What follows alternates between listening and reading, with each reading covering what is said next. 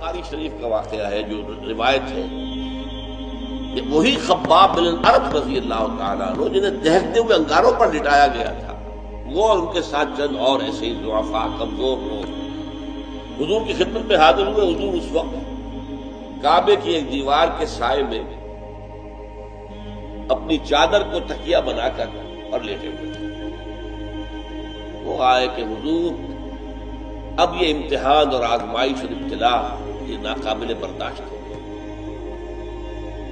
अल्लाह तजूलना आप हमारे लिए दुआ नहीं करते कि अल्लाह की मदद आए, अल्लाह की नुसरत आए। अल्लाह इन बदमाशों के हाथ पकड़ ले, इन्हें सजा दे।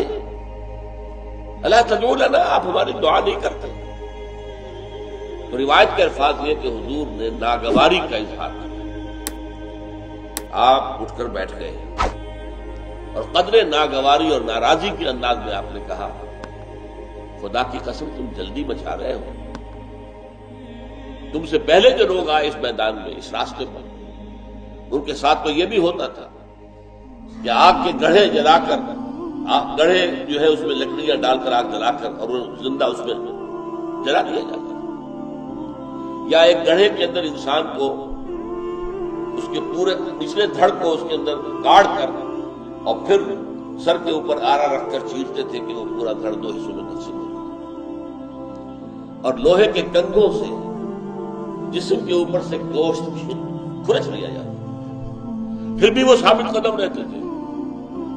तो तुम्हें तो अभी जुमा जुमा आठ दिन हुए हैं। खुदा की कसम वो वक्त आकर रहेगा कि एक सवार सना से हजर मौत तक जाएगा और उसे किसी का खौफ नहीं होगा सिवाय लेकिन अभी तुम जल्दी न बचाओ। अभी झेलो, अभी बर्दाश्त करो। अभी अपने सब्र और मुसावरत का इम्तहान दो। साबित करो कि कितनी साबित कदम हो।